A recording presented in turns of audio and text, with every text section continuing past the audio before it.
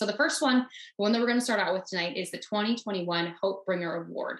Now, each year we honor an individual for their exceptional courage and resilience in overcoming a mental health condition and inspiring others with hope on their journey to well-being.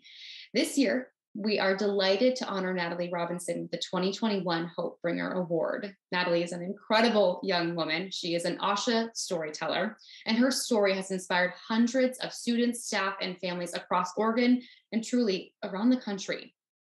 She was a part of the Well-Beings Award winning PBS story, Battling Suicide Through Storytelling, which shined a light on youth mental health. This fall, Natalie will be a freshman at the University of Oregon. She'll be majoring in journalism, as you heard, specifically in media studies, and possibly minoring in English or film. She has various end goals in mind, but documentary filmmaking is one of her top choices at the moment. As a fellow journalist, I encourage you on that path, Natalie. In college, Natalie is looking forward to taking different types of classes, making new friends, and possibly studying abroad. She also wants to continue advocating for mental health at the University of Oregon and beyond.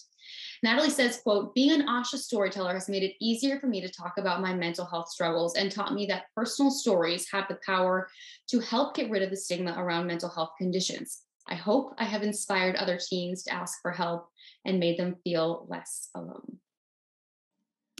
I am truly honored to be this year's recipient of the Hope Bringer Award and to be among the incredible people who have received this award before me. I want to thank Asha, and in particular, Gayathri, for giving me this opportunity to work with such an amazing organization.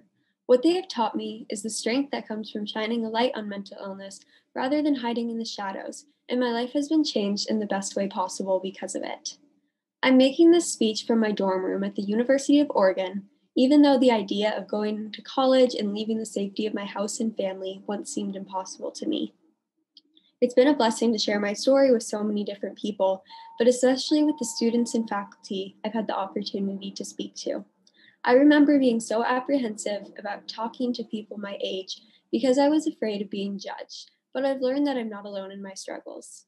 I want to live in a world where mental health is talked about differently, I'm thankful that I found a group of people who are dedicated to making that happen, and I'm excited to continue working with them in the future. My time with Asha and the help of my loved ones and healthcare professionals has instilled a sense of hope into me and inspires me to keep going, even when things are tough.